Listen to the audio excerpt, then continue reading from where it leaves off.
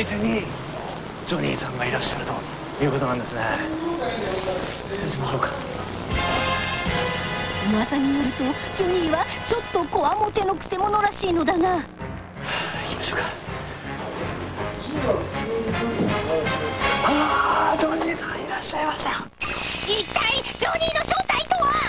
ほら奥で飲んでらっしゃるジョニーさんですよね。そこにいたのは伝説のロックンローラージョロックの熱い魂を震わせる53歳。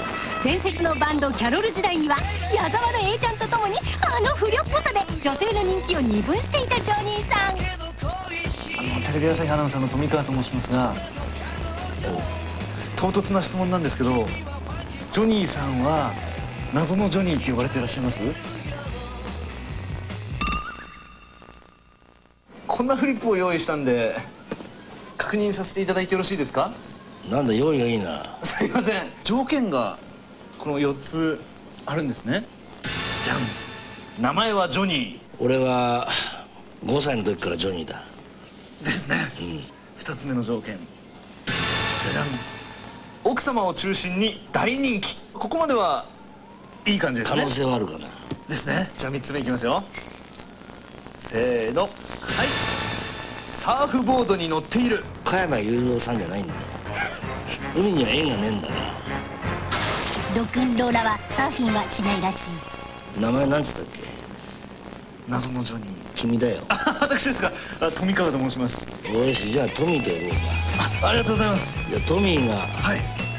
な謎のジョニーを探してごらんもう探してるんですけどとりあえず見つかったら連絡すると約束したトミーであった。売れ行きはどうなんですか？はい、あのとてもあのご好評をいただいております。あ、ジョニーだとか言ってあの お客様もよく見かけ出します。まさにアイドル並みの人気らし。い製造元によると一月に40万丁。売り上げはななんと1億2000万円の大ヒット。そこでニーの生まれ故郷茨城県にある製造元の工場を直撃。そんなジョニーの名付け親がこちら。常務の伊藤慎吾さん。ちなみにスーパーで流れていた歌を作ったのもこの方。まず味なんですよ。それでこの味を伝えるのには相当ドラマチックにですねあのやっぱりシナリオを描いていかなきゃいけないなと思って。これは普通の名前じゃありえないと。実は伊藤さんはこの会社のネーミングをおかげで商品の名前はちょっと変わったものばかり。金貨上等湯豆腐やろう水も滴るいい豆腐男前豆腐さらに。厚揚げ番長や元毛番長などいずれも絹ごしならぬ金貨越し。そもそもこちらのお豆腐屋さん創業は平成元年と新しいが今やお豆腐だけで年商50億円。に「みやび」という名のお豆腐を皇室に献上するまでに成長。でもどうしてジョニーって名前なの？バンドやったりするのは好きだったんですけど、なんか全員日本人なのにお前ジョニーなみたいなそんな楽しさとかね。あとロケンロールの神様ねジョニー・ビー・グッドもいたし、はい。あと僕もキャロル世代ですから。キャロル世代？っていうことはジョニー大倉さんもなんか関係してるんですか？やはり僕の中ではあのどっかでこうつながってる。ならば豆腐のジョニーと一緒にですねえージョニーさんのお宅に報告に伺いたいと思うんですが。すいません富川です。おすいませトミーじゃねえかよ正体が分かったんです。分かった？豆腐だったんです。なんだジョニーってのは豆腐だったのかよ。豆腐と間違えられて切れるのかと思ったら実はね豆腐にはいろいろとお世話になってるんだよ。もしかしてジョニーさんは豆腐好き？ロックンローラーは辛い職業なんだよ。かっこつけなきゃいけないし。そのためにやっぱ体がガタガタになってね。10年ぐらい前に、えーまあ小脳卒とか肝臓悪かったりとかしてめちゃくちゃになったんだよそこでこれまでの不摂生を改善。長生きしたいと思ったロックンローラーが取った行動とは？食生活も全部変えて豆腐漬けの毎日。というわけで！ジョニーとトミーの3分間クッキング。あの基本的にはね、まあコリアン風の醤油の辛醤油っていうかね。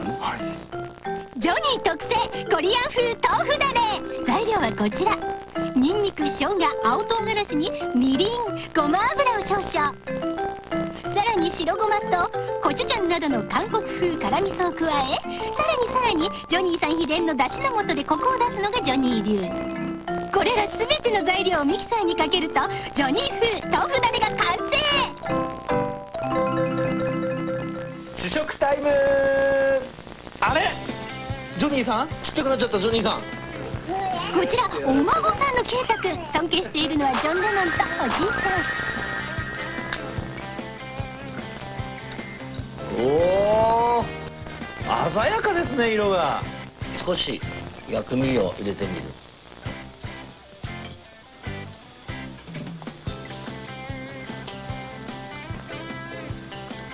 おいしい。うん。豆腐のジョニーが普通の豆腐より甘いがためにこのジョニーさんのピリッとしたタレっていうのがものすごく合いますね。ケイタくんは横にいるジョニーより食べるジョニーにご就寝。一方ジョニーさん突然歌がひらめいたという。風に吹かれて遠くの街に 愛を届ける豆腐やジョニー I got a something is happiness 風に吹かれて豆腐やジョニーとても understand